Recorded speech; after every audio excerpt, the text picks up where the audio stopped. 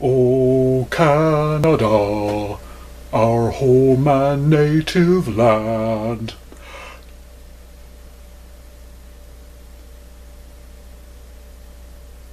That's all I got. Sorry.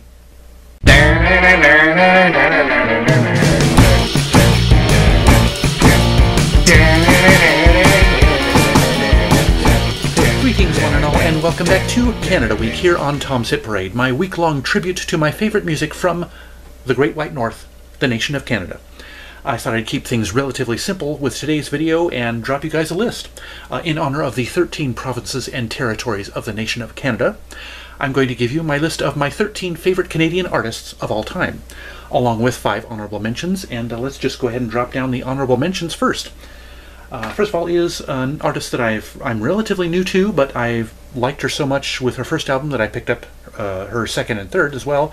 Chantal Kreviazuk. She is a singer-songwriter, kind of in the vein of Sarah McLachlan, who, not coincidentally, I had discovered uh, through my sister's music collection pretty soon uh, before I found uh, Chantal Kreviazuk.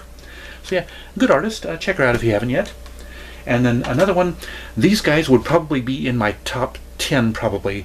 Um, if uh, I had any album beyond this. I actually have never listened to one of their full studio albums, but I, I really like the, this introduction to them. It's a power pop rock band called Sloan. And uh, they have just some insanely catchy songs. And this actually, this singles collection is, as I said, the only album I have of theirs. Uh, I'm going up to Portland later this week, and I plan on scoping out, uh, seeing how many of their studio albums I can find. But yeah, just if you love just that catchy power pop semi garage-ish rock, garage-ish rock kind of stuff, check out Sloan. You've got to.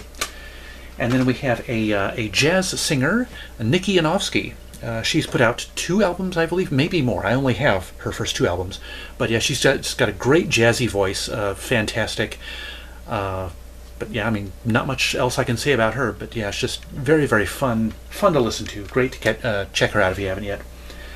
And then uh, another one, I hesitated whether or not, I mean, you know, this is getting up to the actual list of 13, so I, I was going to put him in my list of 13, but, well, there are other artists that I just kind of like a little bit more. Uh, but this one, uh, he is actually was one of the winners of Canadian Idol. Yes, there is a, and I've actually thought about doing a video about this uh, uh at some point on my channel, and I'm sure I will at some point. Is uh, I for a while there I was collecting uh, the winners and uh, finalists from idol, idol, competitions from around the world. As you know, or as you maybe you don't know, uh, the original British version, Pop Idol, which uh, which begat American Idol, uh, that was actually also licensed to many other nations and territories around the world, Canada being one of them. So yeah, it's not just a Canadian singing competition; it is the Canadian version of Idol. Uh, that's why it carries the Idol name, obviously. But yeah, he is probably my favorite international idol of them all is a Canadian idol by the name of Kalan Porter. Uh, he won, what did he win, the season two, I think? I have notes, but I don't have them in front of me. Good thinking. Uh, but yeah, he was just fantastic. And you see a skinny white kid here, uh, but don't let that give you any preconceptions about his voice. He has one of the beefiest and uh, greatest baritone singing voices I have ever heard. I mean, he is honestly, for some reason, I'm not quite sure. I can't pin it down as to why, but he is one of my favorite singing voices ever. Just you know, I mean, yeah, just call him up on Spotify. He's pro- his music is probably on Spotify or or another streaming service out there, other streaming services. But yeah, check his stuff out. He's just great. He's just got a great voice, and I've actually got both of his albums. I think I actually like Wake Up Living, his sophomore album, a little bit better. And uh, the song Hooray, which was a single of his, is probably one of the best music videos I have ever seen in my life. It's just funny. It's uh, the scenario of the video is him and his grandmother in a uh, heated game of Scrabble at the uh, the family family room table. It's it, it's a, just a great funny video, great concept for the video, and really really cleverly done. So go go on YouTube and seek out Kalan Porter Hooray H U R R A Y. I'm almost having second thoughts as just just having him as a runner up, honestly. But yeah, he's one of my runners up for favorite Canadian artists of all time. And rounding out the runners, or the, uh, excuse me, not runners up, honorable mentions, uh, rounding up the honor- honorable mentions is a pop duo called Wave. In a way, they were Canada's answer to Savage Garden, the Australian pop duo. Although Savage Garden was heavily, uh, more heavily on the synths, and uh, Wave is more on the organic stuff, you know, uh, piano and guitar and that kind of thing. So, so yeah, I've got uh, both of their albums. Uh, they're just great, great ho- hooky songs through both of their albums. Just a, a wonderful pop duo called Wave from Canada. Okay, now let's get on into the top 13 favorite artists. Starting the list at number 13, at the bottom of the list, but by no means the worst artist, is Sarah McLachlan. Yeah, I discovered her, as I mentioned a few minutes ago, I discovered her through my sister's music collection.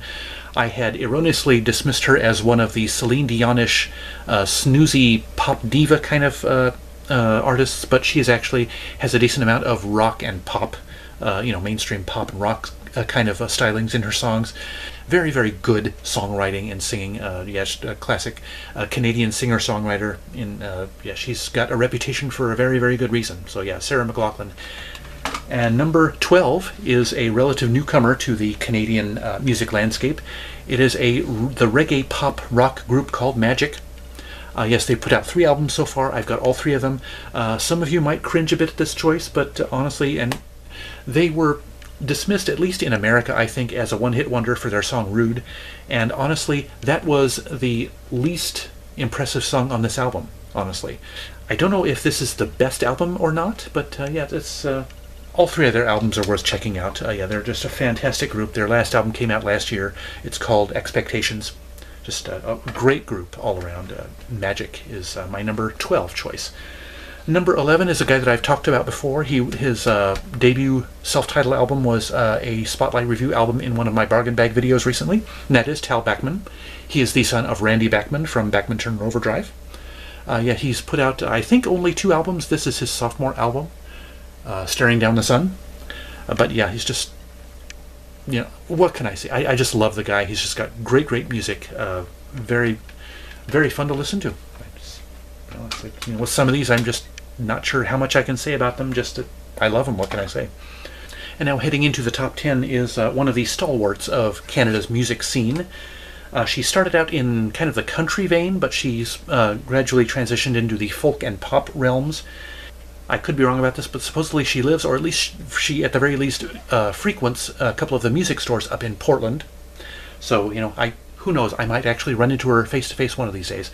But anyway, uh, let's finally name this artist that I've been talking about. It is k.d. lang.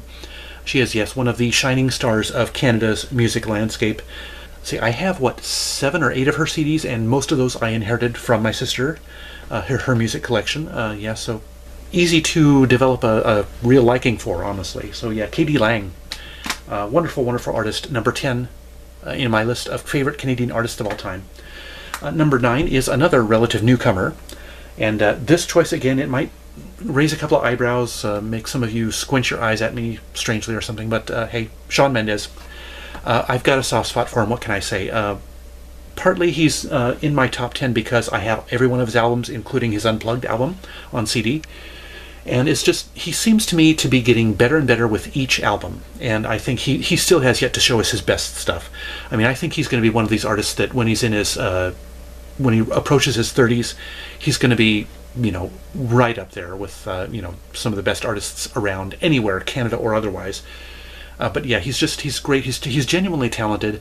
Uh, he can easily be dismissed because of his fame as a teen pop uh, artist, but uh, hey, he's, I think he's overlooked, honestly. So yeah, Shawn Mendes, number nine on my favorite list uh, of Canadian artists. Number eight is another one of the longer standing artists from Canada who has uh, infiltrated the US in a fairly big way, actually. She is a jazz artist, and again, this is one of the artists who I uh, inherited most of the uh, discography that I have of hers, which I think is actually complete. I think I have all of her albums uh, from my sister, and it is Diana Krall.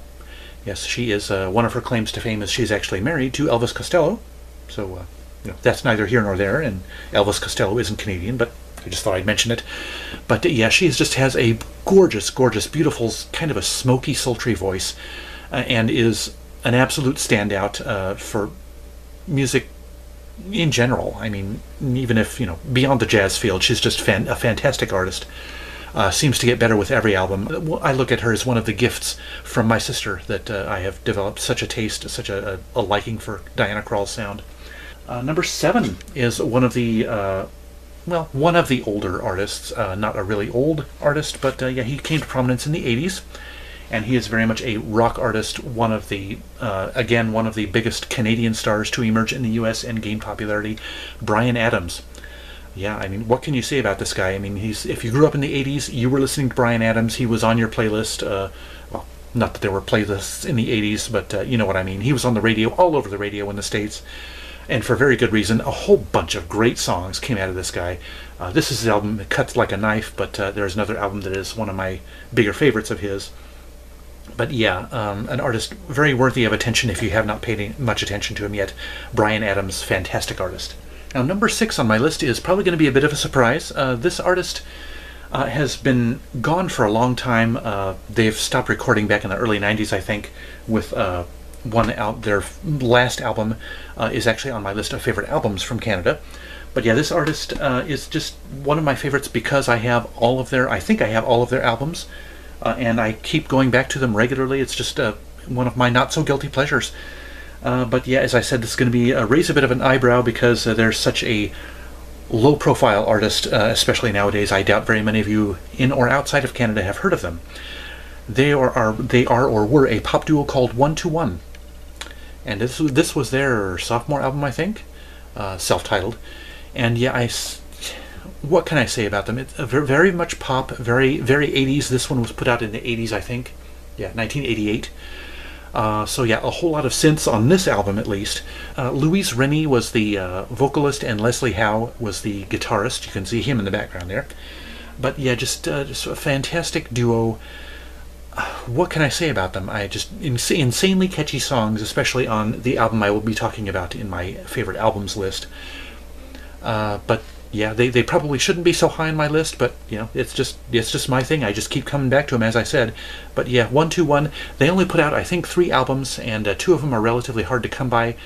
Only one of them gained gained marginal popularity in the states, as I said. So they're in the states they're kind of a one hit wonder.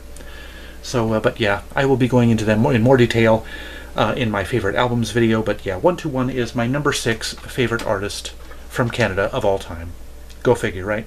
Number five, I wasn't sure I wanted to put this artist so high because he is in fact Canadian American.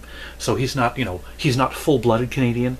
Those of you who might be Canada purists out there might balk or, or uh, scoff at this choice, but uh, well, hey, I'm the one making the list, so. Bleh. But anyway, number five on my list is Rufus Wainwright. Uh, yes, he's. Uh, I've probably talked about him a few times on my channel. Just he's one of my favorite artists artists of all time, and it's atypical for the stuff that I like because it's it's kind of baroque pop, chamber pop kind of stuff is mostly what he does. So it's kind of off the beaten path. It takes an acquired taste. It's not really mainstream. So. Uh, it's in a way it's kind of a surprise that I like his stuff as much as I do. But yeah, he's just uh, I've got all but one of his albums. I am missing one of his albums.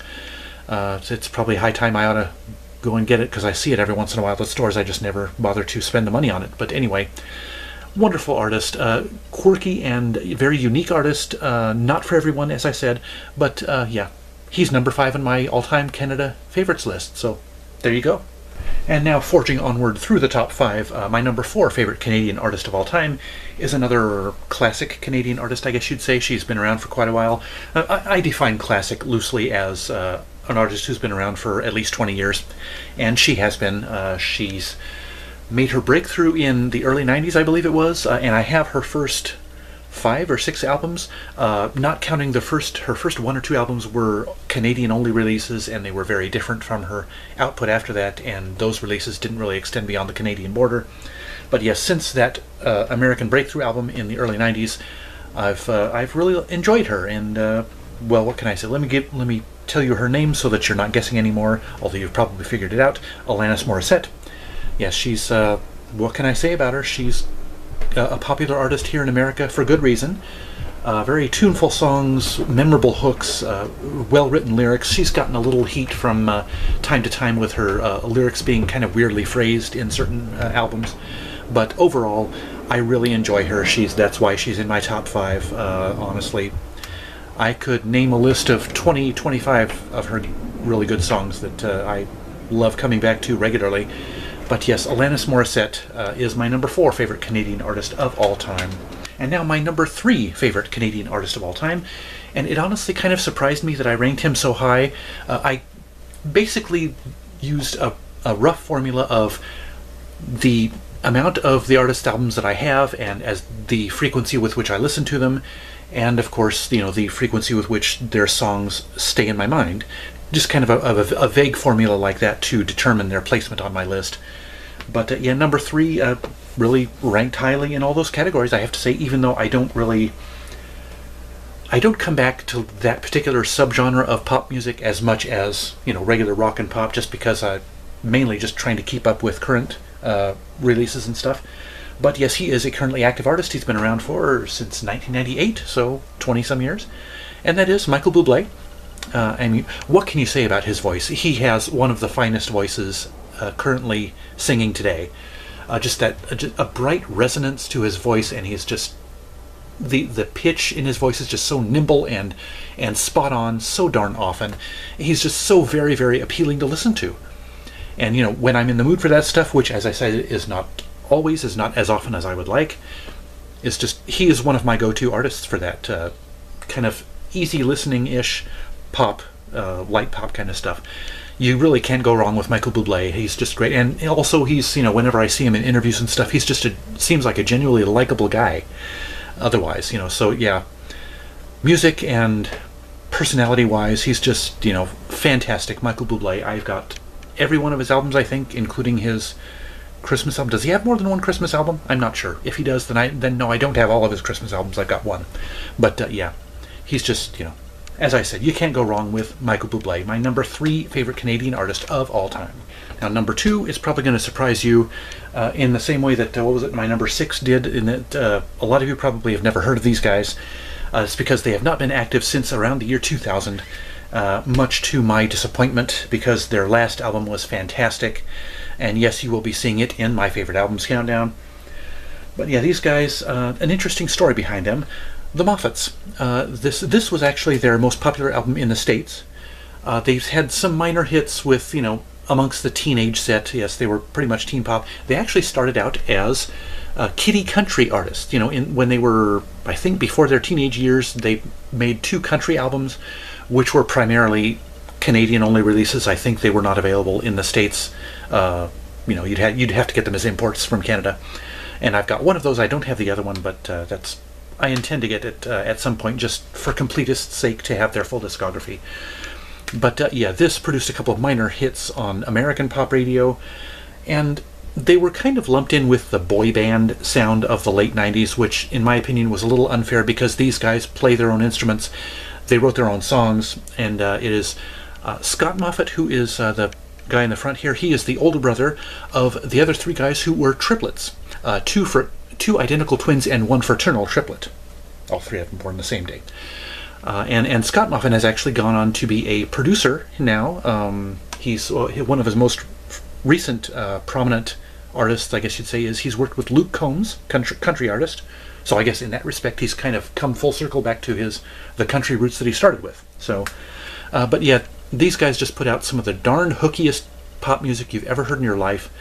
Uh, this was their next to last album. This is a very fine album, a wonderful. You know, if you just want that plain old ear candy, check out the Moffatts. Uh, they're just wonderful, wonderful to listen to. And yet, my runner-up for favorite Canadian artist of all time, even though their output uh, was uh, on a to a smaller a cumulative scale than a lot of the other artists in this countdown. And now, my number one favorite Canadian artist of all time. If you've been watching my channel from the beginning, you might be able to uh, deduce this. I'm not sure exactly how much I've talked about these guys, but I, as much as I like them, I probably should have been talking about them quite a lot.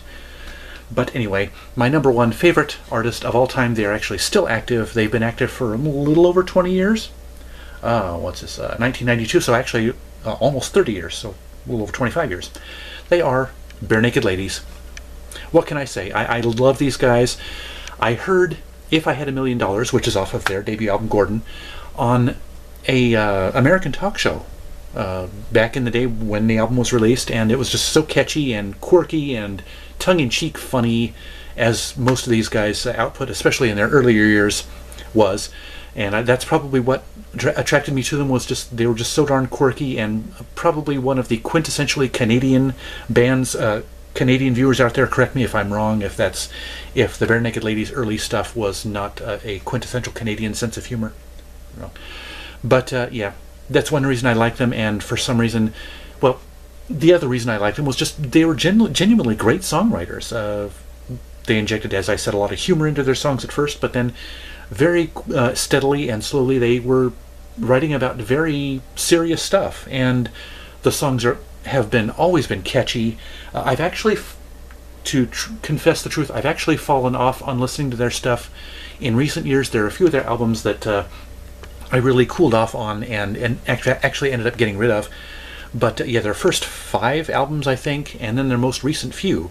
Um, I, have really enjoyed. I've got my collection. You know, there's that gap in the the more recent half of their discography. I've got a little gap in. This just was stuff that just kind of lost its appeal to me for whatever reason. But uh, yeah, their particularly their earliest earliest half dozen albums, I just absolutely positively love. I come back to them regularly. They're um, among my greatest hits of my uh, uh, post teenage years. But yeah, before I keep going on and on and on, let me just say Barenaked Ladies, for good reason, are my favorite Canadian artist of all time. So, yes, there you have it, for better or worse, my list of my favorite Canadian artists of all time. Notice I don't call it the best Canadian artist of all time because, well, some of the weird placements on this list, I mean, I will admit, they're, they're strange, but that's why I don't call this list the best. I call it my favorite Canadian artist of all time. And yeah, just it just goes to show, at least in my opinion, what a great, fantastic body of work uh, Canadian musicians have come up with uh, some of which has filtered down here to the United States of America. Uh, and in my opinion, our listening is all the better for it. So uh, I will be showing you, uh, by the way, later on this week, my favorite Canadian albums of all time. And yes, you will hear uh, some uh, repeat artists from this countdown. You will hear their names in my favorite albums countdown later on this week. So please stick around with that. Uh, I hope you've been enjoying Canada Week as much as I have been. It's just wonderful. It's I've been wanting to do this love letter to Canadian music for a long time now. But anyway, that's it for this video. I hope you enjoyed it. Suggestions, questions, constructive criticisms, lay them on me in the comment section below. Also, scroll down to the description for the link to my Twitter feed and links to my favorite fellow YouTubers who are all worth checking out. And don't forget to subscribe to my channel and browse my past videos, and be sure to ring that notifications bell so you'll be the first to know each time I drop a new video. Otherwise, thank you so much for watching, I'll see you next time, and remember, life's too short to be a music snob.